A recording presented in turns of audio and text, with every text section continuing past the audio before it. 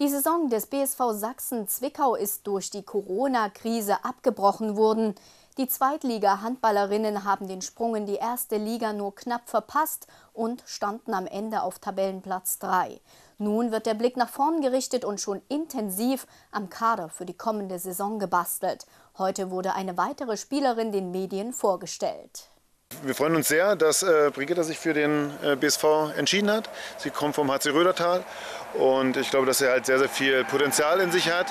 Noch ist er ein bisschen verletzt, aber ich denke, dass er das halt über, ja, über den Sommer halt hinbekommt, sodass er uns ab äh, ja, September, Oktober dann wieder zur Verfügung steht.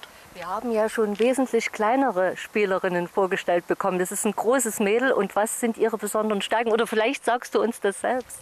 Ähm, ich denke, meine Ist ähm, Werf von 9, 10, 11, 12 Meter. Ja, und ein gegen ein. Ich bin auch gut. Ja, ich glaube, dass sie halt einfach äh, uns im, im Kader komple äh, komplementiert.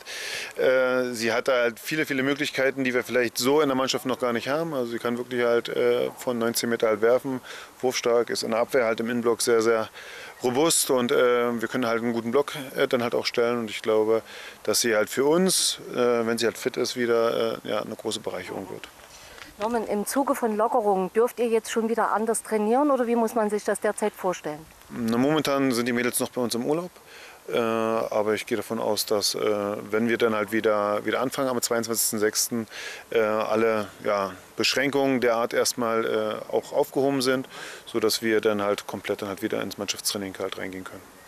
Äh, wir gehen davon aus, dass dann auch Zuschauer wieder in die Halle kommen können?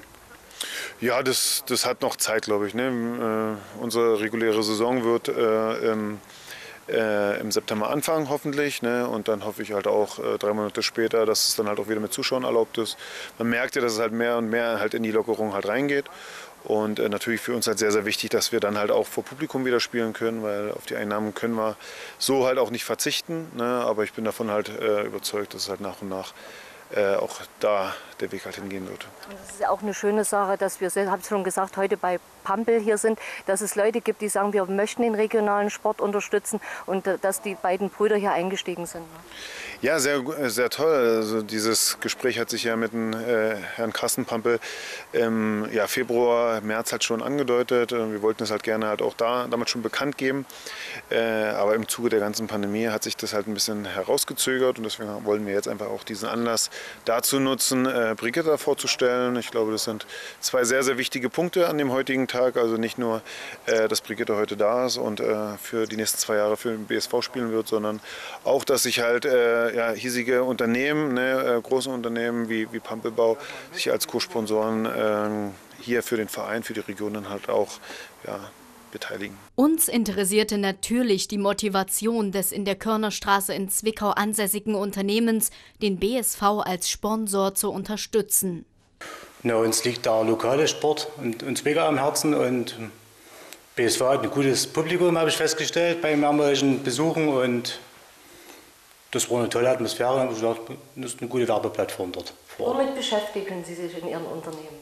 Also wir sind ein Dachbau- und Holzbaubetrieb in Zwickau mit 50 Mitarbeitern und unser Hauptgebiet sind Dachabdichtungen und Holzbauwerke.